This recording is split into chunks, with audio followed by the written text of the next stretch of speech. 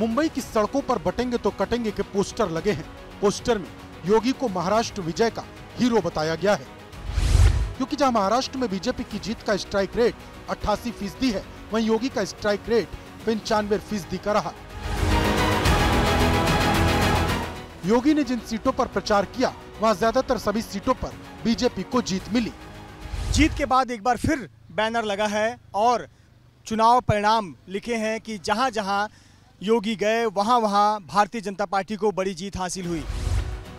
बड़ी बात यह है कि शरद पवार भी योगी को महाविकास अघाड़ी की हार का सबसे बड़ा कारण बता रहे हैं। भूमिका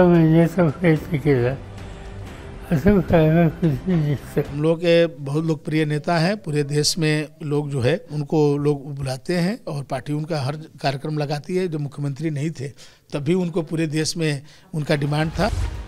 बता दें कि बटेंगे तो कटेंगे के पोस्टर राजधानी लखनऊ में भी लगे हैं। दरअसल ये बयान इतना हिट हुआ कि इसने पहले हरियाणा में गेम बदला और फिर महाराष्ट्र में पूरा माहौल ही बदल दिया।